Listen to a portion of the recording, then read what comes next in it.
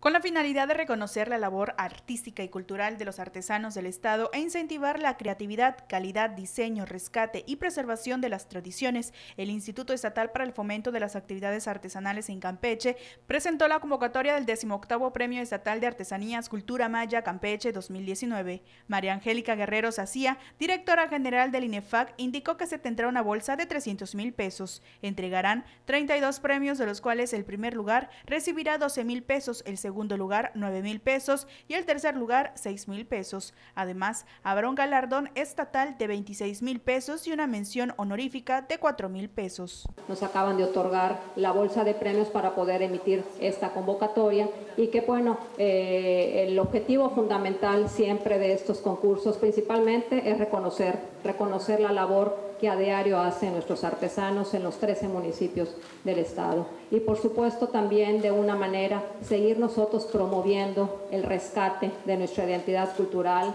el, promover la creatividad de ellos, pero sobre todo incentivarlos a que se motiven y participen a elaborar cada día mejores, mejores y nuevas piezas. Cabe destacar que serán ocho categorías y una categoría infantil con premios en especie, entre estas alfarería y cerámica, textil, hueso y cuerno de toro, fibras vegetales, madera, urdido, juguetería tradicional y varios. Este premio es de suma importancia porque premia las ocho ramas artesanales reconocidas por el FONAR.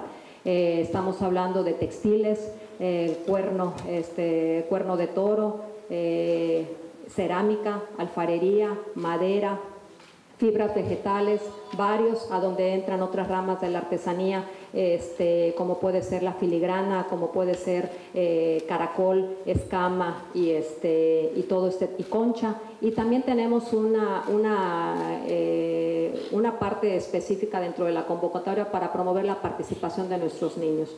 Yo creo que si queremos que, que Campeche siga produciendo y generando nuevos talentos, esto hay que hacerlo también desde la educación de la primera infancia, desde nuestros niños.